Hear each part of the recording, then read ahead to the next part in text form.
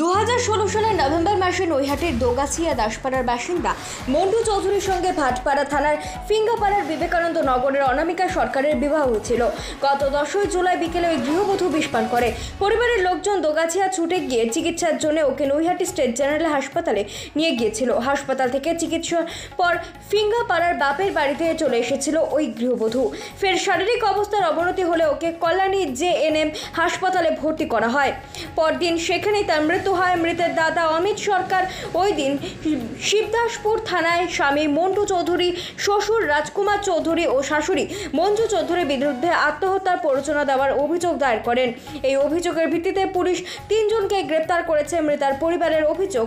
বিয়ের পর থেকেই পণের দাবিতে অনামিকার ওপর শারীরিক ও মানসিক নির্যাতন চালাতো শ্বশুরবাড়ির লোকজন।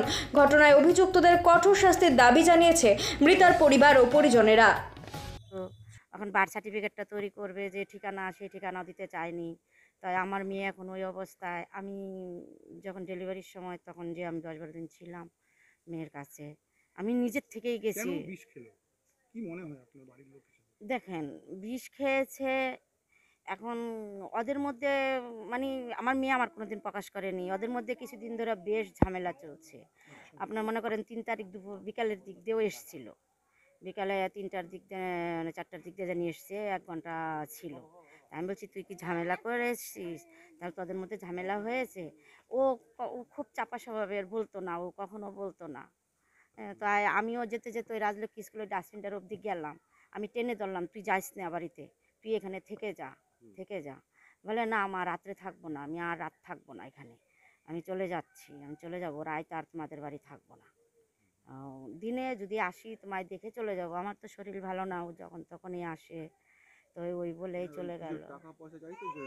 আমার মেয়ে খুব চাপা স্বভাবের আমার মেয়ে কখনো বলতো না। আমার মেয়ে বলতোই না। হ্যাঁ কিছু ঝামেলা হলো গায়ে হাত তুলতো। আমি প্রায় হ্যাঁ দেড় বছর আগে একবার গেছিলাম। ওর দেওর ওর দেওর তারপরে ওই ও খুব মেরেছে আমার মেয়েকে মারধর করেছে। কিন্তু আমার মেয়ে প্রকাশ করেনি। কিন্তু আমি তারপরে যাওয়ার পরে আমি একটু কিছু কথা বলেছিলাম। মানে মেয়ের জামাইকে আমি কিছু বলেছিলাম যে তুই যে এরকম করছিস হ্যাঁ? তোর মা তাহলে তুই আলাদা খাচ্ছিস তোর মা খাবার দিয়েছে ওই নিয়ে তুই ঝামেলা করছিস। এটা রাগারাগির মধ্যে। হ্যাঁ ও ঘরের জিনিসপত্র কেন মেনেছে কেন জানেন? ওদের জন্য কি ওই জামাই শ্বশুর শাশুড়ির জন্য কি হ্যাঁ ওরা ওই শুধু একটা কথাই ওরা মানে এই, মানে আমরা তো বাঙালি ওরা তো বাঙালি না। আমরা হয়েছি বাঙালি, ওরা হয়েছে অবাঙালি, ওদের আমাদের কালচার সাথে তো মিলবে না, কিন্তু আমার মেয়ে অনেক চেষ্টা করেছে মানিয়ে নেওয়ার জন্য। দেখেন দু হাজার সতেরো সালে সতেরো সালে বিয়ে হয়েছে, এই অবধি মনে করেন আমার মেয়ে ছিল। ওদের বিয়ের পর থেকেই পারিবারিক একটা অশান্তি ছিল, শ্বশুরবাড়ির ডিমান্ড ছিল, যেগুলো আর কি বিয়েতে যেগুলো দেওয়া হয় আর কি। খাট, আলমারি, টাকা, পয়সা, তো সেসব নিয়ে তখন যেহেতু প্রেম করে বিয়ে করেছিল বাড়ির অমতে তখন অতটা গুরুত্ব দেওয়া হয়নি। পরবর্তীকালে এসেছিল, বোন আসতো, ওর বর আসতো তো সেখানে পরবর্তীকালে বাবা মা যতটা পেরেছে সাপোর্ট দিয়েছে। কিন্তু তারপরেও শ্বশুরবাড়ির লোকজনের অতটা আমরা ওনাদের মনোপুতভাবে ইয়ে করতে পারিনি। পরে ওরা আলাদা ভাড়া নিয়ে থাকতো, একই জায়গাতেই থাকতো, এই এলাকাতেই, পাশের পাড়ায়।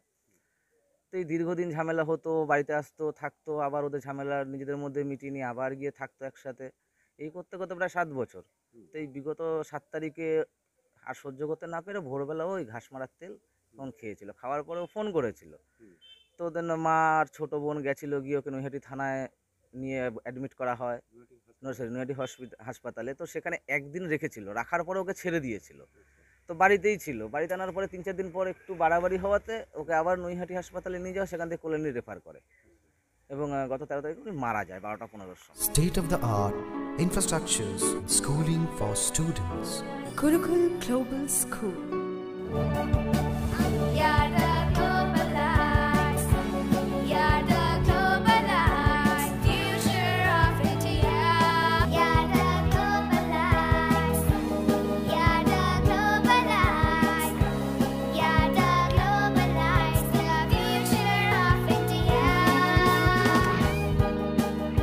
Welcome to Gurukul Global School, a home away from home.